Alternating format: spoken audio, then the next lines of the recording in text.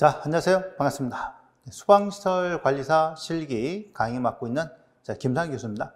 자, 이번 시간에는 우리 이제 2022년도에 소방시설 관리사 실기를 어떻게 준비해야 될 것인지에 대해서 간략하게 소개하는 자, 그런 시간을 어, 갖도록 하겠습니다. 자, 우선 이제 출제 기준을 좀 먼저 살펴보도록 하겠습니다. 자, 출제 기준하고 학습 우선순위인데요. 예, 출제 기준은 어떻게 되어 있냐면 직무 수행에 필요한 이론과 실무 중심의 능력을 평가할 수 있는 시험 문제를 출제한다라고 되어 있어요. 그러니까 자, 이론, 그 다음에 실무 이렇게 들어가 있고 그 다음 기본 개념 및 원리를 포함해 출제한다. 그래서 어 기본 개념 그리고 원리 그 다음에 뭐 용어 정의 이런 것들이 출제가 자, 계속되고 있죠. 그래서 그런 출제 기준을 잘 아, 여러분들이 알아두셔야 됩니다. 그럼 이제 과목별로 한번 살펴보면 소방시설의 점검 실무 행정은 세부 항목이 소방시설 점검 절차와 소방시설 점검기구 사용법, 그 다음에 소방시설 점검 실무에서 관련 법령 이렇게 되어 있거든요. 그럼 어쨌든 간에 이 점검 실무 행정은 이 법령에 법령이 차지하는 비중이 굉장히 높습니다. 네, 법령. 그래서 이 법령에 관련된 것이 뭐 우리가 기본적으로 알아야 될 NFSC 예, 국가화재 안전 기준 기본적으로 아셔야 되겠고요. 그 다음에 소방시설법에 관련된 거, 자 소방시설법에 관련된 거, 자 아셔야 되겠죠. 그 다음에 어, 다중이업소법,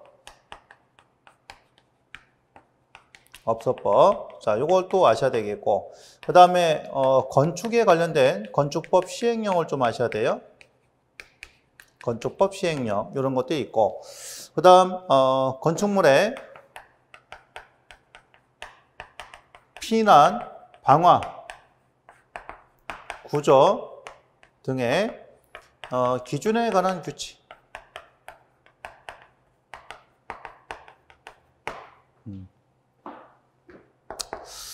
자, 그래도 이거는 이제 어, 건축물 방화 구조 규칙이라고 이렇게 얘기를 하는데 상당히 중요하죠. 그런 이제 부분도 또 있고. 그 다음에, 어, 또 뭐가 있을까요? 자, 바로 이제 초고층. 그 다음에 지하 연계. 초고층 및 아, 지하 연계 복합 건축물 재난 관련 특별법. 그죠? 이런 부분들 등등등등. 굉장히 범위가 좀 넓습니다. 아, 넓은데 그 중에서 이 국가 화재 안전 기준이라는 것은 예, 가장 여러분들이 제일 처음으로 아셔야 되는 그런 이제 아주 중요한 법령이죠. 네, 그거하고 이런 거. 아, 그 다음에 이제 소방 기본법도 일부를 좀 아셔야 되겠고요. 소방 기본법. 이런 것 등등이 바로 소방 관련 법령이다. 그래서 법령을 어, 첫 번째로 하고, 그 다음에 두 번째는 이제 점검 절차인데, 여기는 이제 점검 실무, 이제 기본 개념, 원리, 이런 것들이 또 들어갑니다. 그 다음 점검 기구 사용법, 이게 이제 세 번째가 이렇게 되어 있다. 이런 얘기죠. 순서.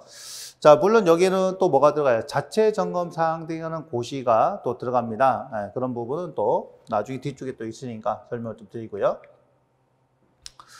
그 다음 소방시설의 설계 및 시공에서는 예, 기계시설의 설계 및 시공과 전기시설의 설계 및 시공 이렇게 두 가지로 구분할 수 있을 것 같아요. 그 중에서 이제 기계 시설이 이제 범위도 어, 넓고, 그 다음에 어, 출제되는 문항 수도 많죠. 기계 시설이. 자, 그래서 기계 시설부터 먼저 하고, 그 다음에 전기 시설, 이렇게 들어갑니다. 그 다음, 어, 소방시설 설계 및 시공에 대한 기본 개념 및 어, 원리를 포함한다. 그래서 이 개념. 그 기본 개념이니까 예를 들면 뭐예요? 어, 예를 들면 이런 거죠. 공동 현상이라든가, 뭐 수격 현상이라든지, 그 다음에 스키핑 현상이라든지, 그 다음에 뭐 RDD 또는 뭐 ADD 뭐 이런 거 관련된 거, RTI 관련된 거, 이런 것들이 또 출제가 자, 됐었단 말이죠. 그죠? 예, 그런 부분들. 그 다음에 자, 원리. 원리에 관련된 거. 그래서 이 기본 개념 원리 같은 경우는 이제 어떤 개념으로 보시면 되냐면 우리 이제 소방 기술사에서 이제 다루는 그런 이제 개념 또는 원리 이런 것들이 출제가 된다라고 이제 보시면 되겠습니다. 물론 요거 관련된 거는 우리 교재 다 수록을 해 놨어요. 웬만한 거는. 그러니까 어 뭐 다른 걸 갖다 뭐 굳이 찾아보지 않더라도 다 알 수 있게끔 에, 어느 정도 수록은 해 놨으니까 아, 그거 하시고 나머지 이제 어, 더 필요한 건 찾아서 보시면 되는 겁니다. 자, 그 다음에 어, 시험 과목 일부 면제인데 에, 기술사나 우연물 기능장, 건축사, 건축기계설비 기술사, 전축, 전기설비 기술사, 공조 냉동기계 기술사. 자, 여기 관련된 거를 취득하시면 소방시설의 설계 및 시공 이렇게 면제가 되고요. 그 다음 소방공무원 5년 이상 근무 경력이 있는 분 여기는 이제 점검 실 명정이 자 면제가 됩니다. 그 다음에 세 번째 소방 공무원으로서 5년 이상 근무 경력이 있고 기술사나 기능자이나 건축사나 건축기계나 건축전기나 공조냉동이 있으면 두 개 중에서 하나를 선택해서 시험 볼 수가 있다라는 얘기죠. 이렇게. 그 다음에 시험의 방법은 1교시, 2교시 이렇게 됩니다. 둘 다 다 볼 수도 있고 둘 중에 하나만 보실 수 있어요. 면제 조건이 되면. 1교시는 어, 점검 실명정인데요. 오전 9시 반부터 11시까지 90분 동안 진행이 됩니다. 그 다음 설계 시공 12시부터 1시 반까지 물론 어, 90분 동안 이렇게 진행이 된다라는 얘기겠죠. 예, 기본 구성이 이렇습니다. 광업별 세 문항이고요. 총 여섯 문항, 이제 논수령 이렇게 자, 구성이 되어 있습니다. 어, 그 다음에 합격 결정 기준은 다섯 명이 채점을 해서, 점을 해서 최고점과 최저점을 뺀다. 어, 그럼 나머지 세 명의 자, 점수를 합계해서 3으로 나눠가지고 평균치로 예, 합격 여부를 결정한다는 얘기죠. 그래서 어, 매 과목 평균 40점 이상이니까 우리 두 과목 보는 거 아니에요, 그죠? 점검 실명정과 설계 및 시공 두 과목인데 평균 40점 이상, 어, 그 다음에 전체 두 과목 합쳐서 60점 이상이면은 자 합격이 된다라는 얘기가 되겠죠. 자, 그러면 이제 출제 경향 분석을 한번 보도록 하겠습니다. 설계 및 시공. 그래서 계산 문제하고 서술형 문제인데 13회부터 21회 때까지 자 비중이 보면 계산과 서술 쭉 오면 최근에 20회, 21회 보면요. 자 20회 때가 계산이 42점, 그 다음에 서술형은 58점 나왔고요. 자 21회 때는 54점, 46점 이렇게 나왔어요. 그러니까 전체로 보게 되면은 이때는 한 6대 4 정도 그죠? 이때는 지금 뭐니까 어, 뭐 5대 5 정도로 볼 수 있죠. 어떻게 보면. 자, 반올림 하면, 그죠? 이게 비슷하게. 자, 이렇게 나왔고, 그 다음에 19회 때는 이제 계산 문제가 비중이 높죠. 그죠? 이렇게 18회 때도 마찬가지고 계산 문제 비중이 좀 높다. 그 전체로 보면 서술형의 비중이 많을수록요, 어, 합격률은 좀 떨어집니다. 어, 상대적으로 계산 문제가 많이 나오면 합격률이 좀 올라가고요.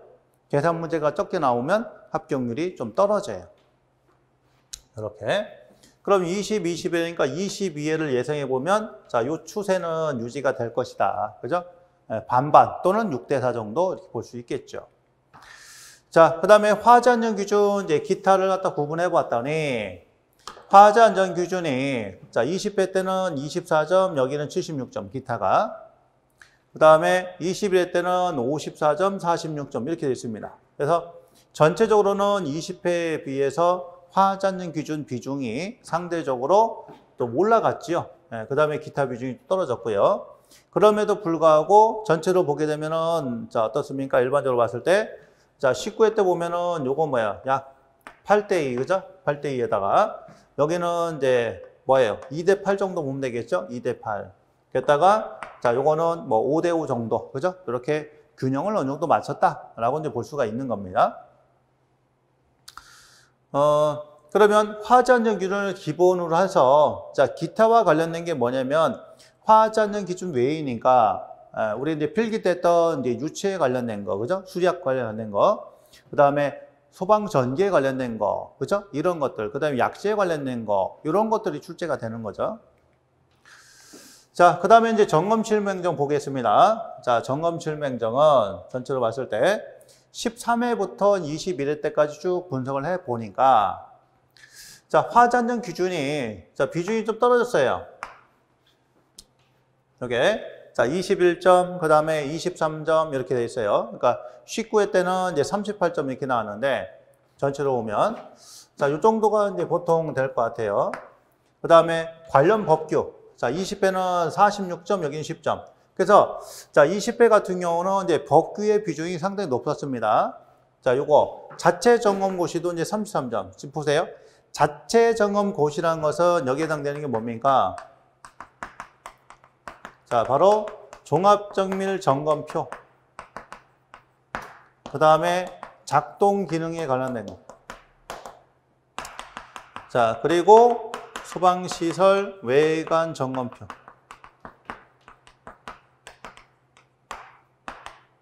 그 다음에 성능시험 조사표. 성능시험 조사표. 자, 여기는 뭐 도시기호 같은 것도, 이런 것도 들어가겠죠. 도시기호, 이런 거. 자, 요거 관련된 것들이 지금 보면 13회부터 매 회차 빠지지 않고 계속 나오고 있습니다. 그래서 우리 자체 점검 고시만 정확하게 다 외우시더라도 33점, 24점 이렇게 맞을 수 있는 거예요. 예.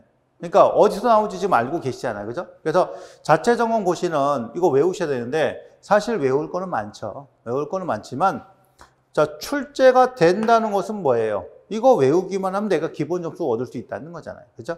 그래서 어, 자체 점검 고시는 되도록이면 다 외우셔야 됩니다. 예, 그래야지 우리가 점수를 기본적으로 획득할 수가 있어요. 자, 그렇고요. 그 다음에 자 시험에 관련된 거, 자 쭉 안 나오다가 자 시험에 관련된 게 자 24점 나왔고요. 기타에 관련된 거 또 19점 이렇게 나왔습니다.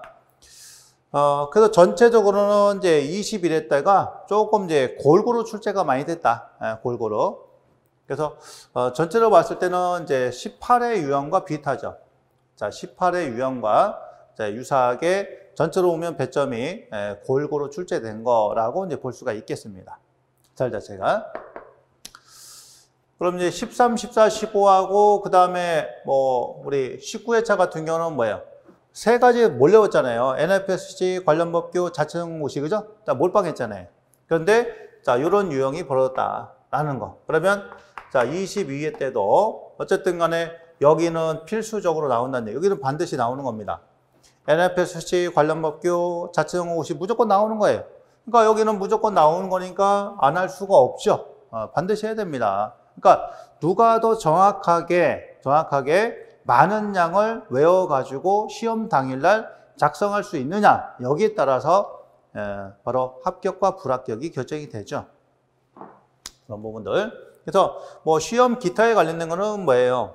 어, 뭐 점검 방법, 점검 원인, 그죠? 무슨 무슨 원인, 고장 원인, 그 다음에 해결 방안, 자 이런 것들이 시험 기타에 관련된 자 그런 부분이라고 볼 수 있겠습니다. 자, 그 다음에, 어, 그러면 시설 관리사를 어떻게 어, 전략적으로 우리가 공부할 것인가에 대해서 자, 설명을 좀 드리겠습니다. 자, 화전이 기준은요, 아, 맹목적인 암기보다 이해 유지의 학습이 필요하다. 그러니까 우리가 시설 관리사라는 것을 준비하시려면 화재 안전 규제에 대한 전반적인 이해가 좀 필요합니다. 예. 그 다음에 두 번째는 이제 가로 채우기 형태가 출제가 된다라는 얘기죠. 그 다음에 세 번째는 폭넓게 학습하자. 그러니까 자 딱딱딱 찍어서 하지 말고 전체적으로 넓게 공부를 하셔야 된다는 얘기예요. 그 다음 아, 용어 정의. 짧은 규칙부터 상세하게 암기를 하자. 그래서 어, 전체로 보면 정확성이 굉장히 요구됩니다. 정확성이. 그러니까 책하고 똑같이 쓸 정도로 여러분들이 외우셔야 돼요. 왜냐면 뭐 세 가지를 쓰시오, 다섯 가지를 쓰시오 이랬을 때 다섯 가지를 다 썼을 때 5점이면 어, 이 원래 있던 화재 안전 기준하고 약간의 변형이나 차이가 생겼다 그러면 어, 하나도 제대로 못 쓰면 점수를 0점을 줄 수도 있어요. 그러니까 어, 무슨 얘기냐면 다섯 가지 쓰시오라고 했을 때 이게 5점입니다. 5점. 그러면 다섯 가지를 다 썼을 때 5점이고요. 만약에 이렇게 하나, 둘, 셋, 네 개. 자, 네 개를 쓰고 하나를 못 썼어요. 그러면 뭐 이러니까 우리가 부분 주수에서 4점, 그죠? 이렇게 줄 수 있지만 채점 기준을 갖다 빵점을 줄 수도 있다라는 얘기입니다. 아셨죠? 그러니까 다 썼을 때 5점이지 하나도 못 쓰면 0점을 줄 수도 있다. 그러면 만약에 쭉 채점을 해봤더니 전체적으로 합격자가 별로 없는 것 같아요. 자, 그때는 어떻게 합니까? 부분 점수 줘야 되겠죠, 이제. 이때는. 근데 합격자가 너무 많이 나올 것 같아요. 이때는 이렇게 아주 이제 현미경 채점을 한다. 합격자가 너무 적게 나올 것 같다. 그러면 아, 부분 점수를 갖다 이렇게 준다. 그렇죠? 그래서 이거는 어, 채점 기준에 따라서 달라지기 때문에 뭐 부분 점수는 분명히 있는데요. 어, 합격자가 몇 명 정도 나올 것인가에 따라서 이게 달라집니다. 자, 이 얘기는 뭐냐? 전체적으로 합격 인원을 어느 정도 정해놓고서 우리가 이제 어, 시험을 본다라는 얘기입니다. 아셨죠? 그래서 거기에 맞춰서 채점 기준을 강하게 할 것이냐 아니면 어, 완화시켜서 채점할 거냐 이거에 따라 달라지는 겁니다. 그래서 이 실활 관리사는 어, 절대 평가지만 절대 평가를 가장한 상대 평가에 더 가깝다라는 얘기죠. 왜냐하면 합격 인원수를 에, 조절을 해야 되기 때문에. 그 다음, 아, 출제 유형의 변화를 읽어라. 전체 기준을 쓰는 것보다 일부 기준 서술 형태. 그래서 뭐 다섯 가지 중에서 자, 1번하고 2번은 써놓고, 그죠? 그 다음에 요거랑 요거 비워놓고, 그 다음 5번 써놓고, 여기에 기억, 니은 해놓고, 자, 기억, 니은에 알맞은 기준을 쓰시오. 이렇게 될 수도 있는 거예요. 예, 그러다 보니까 전체적인 기준을 여러분들이 잘 기억을 하셔야 됩니다. 자, 그래서 이런 것들 하려면 암기법을 개발해야 되겠죠. 예, 많은 양을 외우셔야 되니까. 그래서 항상 중요한 것은 암기법이다. 이런 얘기입니다. 자, 다음 아, 두 번째 점검 실무 행정 학습 전략입니다. 자, 실명 문제를 대비하자. 예, 설비열 고장 원인, 대책 이런 것들. 그래서 자, 우리 이제 교재에 보면 이런 것들을 정리를 잘 해놨어요. 그래서 웬만한 건 다 들어있다 보니까 자, 이런 설비열 고장 원인 대책 같은 경우는 아, 우리 교재만 해도 충분할 것 같습니다. 그 다음 기본 개념을 정리하자. 자, 개념에 관련된 거 이것도 정리가 잘 되어 있고요. 그 다음 설비열 점검 항목. 자, 외관 점검표에서 외관 점검표가 이제 출제가 되고 있죠. 그래서 외관 점검표 같은 경우는 분량이 많지 않습니다. 그래서 얘를 갖다 먼저 완벽하게 정리하실 거를 말씀을 드리고, 자, 그러고 나서 이제 소방시설 점검표 외우시고, 그 다음에 성능시험 조사표도 일부 외우시고, 이렇게 가야 돼요. 자, 그 다음 이제 시행령 별표 5를 암기하자. 이 시행령 별표 5라는 것은 뭐냐면, 특정 소방 대상물의 관계인이 규모, 용도, 수용 인원을 고려해서 설치되는 그런 소방시설을 명시를 해 놓은 겁니다. 자, 굉장히 중요하죠. 이거는 이제 설계도 중요해요, 설계. 설계도 중요하고 점검에서도 상당히 중요하기 때문에 반드시 외워두셔야 됩니다. 그 다음 점검 면적에 활용되는 계산 문제를 정리하자. 자, 계산 문제가 21회 때로 출제가 됐죠. 심심치 않게 나옵니다. 그래서 계산에 관련된 거는 기본적인 계산 여러분들 할 수 있어야 되고요. 어, 물론 시험 보러 가실 때 반드시 계산기는 챙겨 가셔야 된다라는 얘기죠. 내가 점검만 보시더라도. 그 다음 동작 원리. 소방 관련 법령. 이 소방 관련 법령이 참 아, 범위가 너무 넓고 많죠. 그래서 이것도 마찬가지예요. 하나라도 더 많이 외우신 분이 합격이 가까워지는 겁니다. 어려운 것보다 쉬운 거 먼저 하자. 쉬운 것부터. 그 다음 어, 떤 배열이든지 항상 기본 문제 60점 나옵니다. 그 다음에 중간이 20점 나오고요. 어려운 거 20점 나와요. 그래서 우리 이제 기본 문제하고 이제 중간 문제만 잘 맞춰도 합격하는 데는 지장이 없습니다. 자, 기본에 충실하면 합격이 보인다. 그래서 항상 기본이에요. 항상 기본.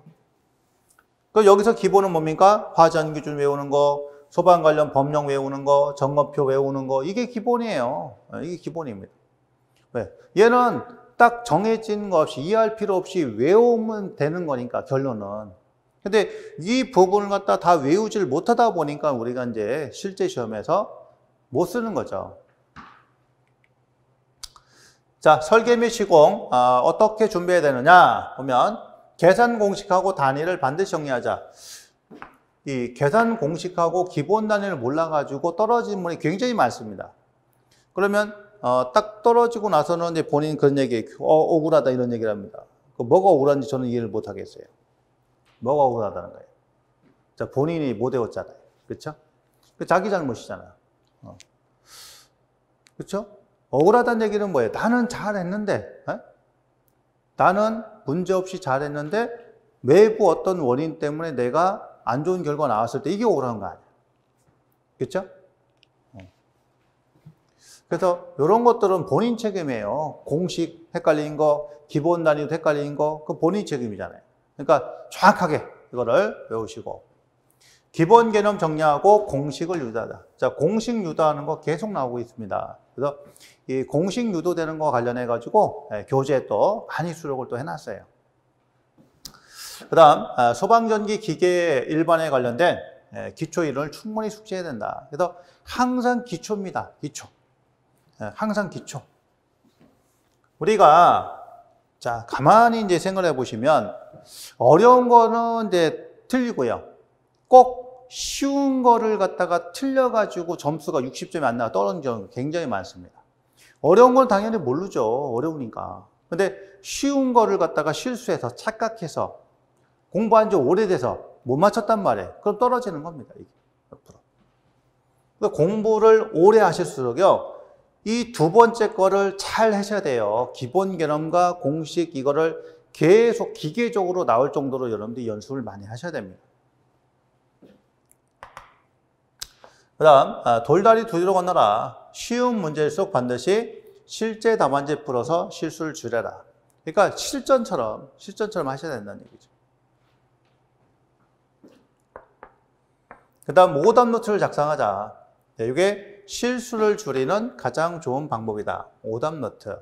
내가 이제 어떤 문제를 풀었을 때, 예를 들면 공식을 갖다가 헷갈렸다든지, 예를 들면 단위를 갖다 헷갈렸다든지, 그 다음에 기준을 갖다 잘못 알고 있었다든지, 그죠? 그런 것들을 정리하는 게 오답 노트입니다. 그러면 사람이 한 번 실수하면요, 똑같은 걸 똑같이 실수해요. 그러다 보니까 그런 실수를 갖다 줄이는 연습을 하시려면 이런 것들을 작성해서 자꾸 복기를 하셔야 돼요. 그 다음 설리별 성능시험 방법이 있습니다. 이 성능시험 방법은 어, 보통 이제 점검에 많이 국한된다고 이렇게 생각하시는데 그게 아니에요. 요즘에는 퓨전입니다. 점검과 그 다음에 설계가 막 섞어버려요. 예, 섞어서 이렇게 출제하기 때문에 그런 부분도 아셔야 되겠고. 자, 그 다음에 일곱 번째 또 기본에 충실해라. 어. 마찬가지입니다. 기본 60, 중간 20, 그 다음에 어려운 거 20 나와요. 그러니까 기본과 중간을 잘 하시면 합격하는 데는 아무런 지장이 없습니다. 기출문제로 답안지 작성 시간을 연습하자 실전 감각이 상승이 된다. 그래서 나중에는 이런 이제 실전 답안 작성하는 과정이 자 바로 뭐예요? 모의고사 과정입니다. 이제 모의고사 과정이 모의고사. 실전 모의고사. 자, 그러면 이제 우리 어, 배우락에서 이루어지는 자, 실월과이사 실기광자 커리큘럼을 보시면 첫 번째는 화자는 규준 및 소방 관련 법령이 공통이죠. 어, 그러니까 우리가 시설 관리를 준비한다 그러면 요거부터 먼저 준비를 하셔야 돼요. 예, 공통 과목이고요. 자, 실기 기초고 바이블이다. 그 다음에 점검 실무 행정입니다. 자, 점검 실무 행정. 일단은 우리가 반드시 해야 될 핵심 요점이 정리가 되어 있고요. 출제성 문제 있고, 기출 문제 있고, 그 다음에 모의고사 과정이 구성이 되어 있습니다. 설계 시공, 핵심 정리, 출제성 문제, 기출 문제, 모의고사. 그래서 핵심 정리는 어, 바로 이제 우리 설비별로 다 있어요. 그러니까 소방 기계 일반, 소방 전기 일반. 기계 일반은 이제 유체에 관련된 거 쭉 정리해놨고요. 전기 일반에 관련된 거 쭉 정리해놨고 소화기구 따로 정리해놨고 그래서 그런 기준 중에서 계산에 관련된 거 얘를 딱 모아놨습니다. 수식을. 그래서 또 교재 하나만 딱 보시면 아, 모든 것들이 정리가 다 되게끔 자 그렇게 해놨고요. 어, 단지 단지 이 점검 실명정과 설계 및 시공에서는 화재 안전 기준에 관련된 문제가 거의 없어요. 예, 그거는 어디서? 여기서 화전 기준을 따로 정의를 하기 때문에 그렇게 되고요. 그리고 기준 수고 이런 것들은 나중에 어디서? 모의고사 과정에서 이 모의고사 과정에서는 어, 자 계산하고 그 다음에 점검하는 부분과 그리고 화하지 않는 기준까지 다 종합적으로 몰아서 실제 시험 형식대로 이제 문제를 풀어보는 과정입니다. 자, 그렇게 알아두시고요. 자, 그럼 이제 과목 면제 따른 학습 전략입니다. 예, 광원 면제가 아니다. 그러면 화장 기준 먼저 하고 그 다음에 설계하고 그 다음에 점검입니다. 순서가 화장 기준, 설계 그리고 점검이고요. 그 다음에 설계 시공 면제다. 그러면 화장 기준하고 이제 점검 실무 가시면 되고 점검이 면제다. 그럼 화장 기준하고 이제 설계하시면 되고요.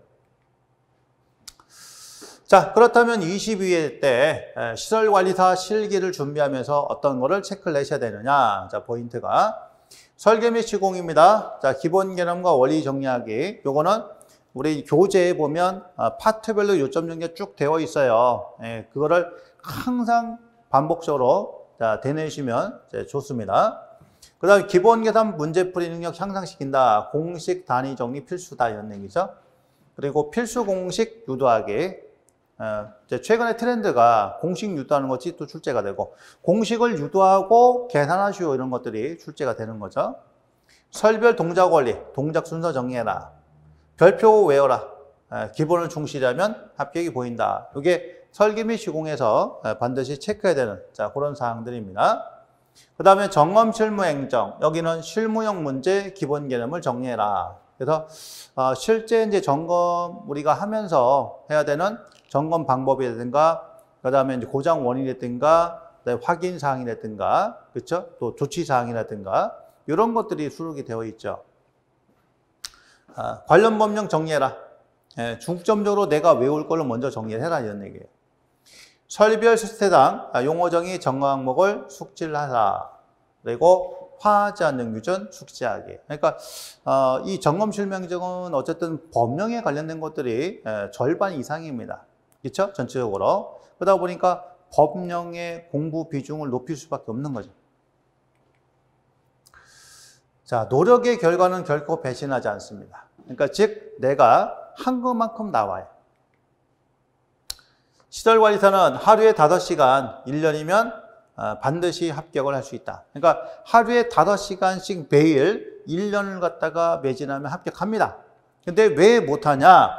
자, 시간을 갖다가 못 지키거나 또는 최선을 다하지 않았거나 중간에 쉬었거나 이러면 더 시간이 걸리는 겁니다. 이게.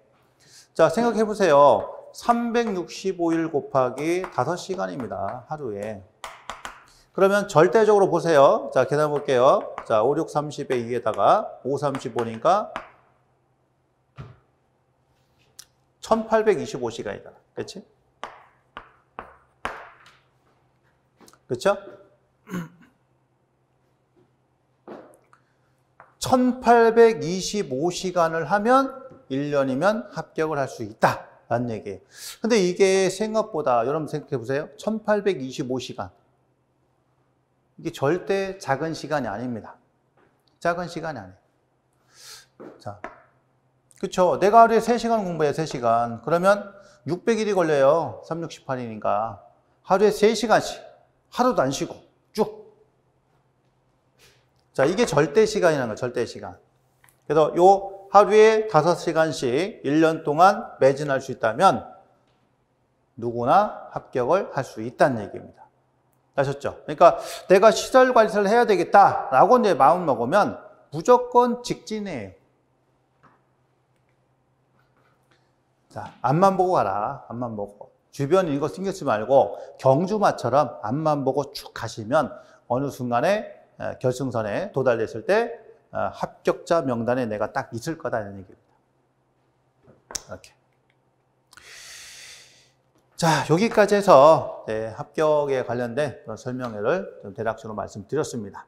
그래서 어떻게 보면 제일 마지막 문구가 저는 항상 음, 기억을 하고 제 기억에 남는 문구인데요. 노력의 결과 배신하지 않고 어, 그 다음에 하루에 고정적으로 5시간 1년이면 어, 반드시 합격한다. 왜? 제가 했으니까요. 어, 했습니다. 저는 1년 동안에 어, 시설과에 닦고 그 다음에 소방기술사도 합격을 했고 그리고 더불어서 제 전기안전기술사도 합격을 했고 다 할 수 있어요. 여러분들 최선을 다해서 할 수 있어요. 그래서 어쨌든 절대 시간이 필요하기 때문에 절대 시간을 또 여러분들이 매진하시면 누구나 할 수 있다. 그래서 자신감 가지시고 도전하십시오. 그리고 일단 한번 도전하면 기간을 길게 잡을 게 아니라 단시간에 어떻게 하면 끝낼 수 있을 건가. 예, 거기에 초점 맞추시고요. 양을 줄이는 것보다는 어떻게 돼요?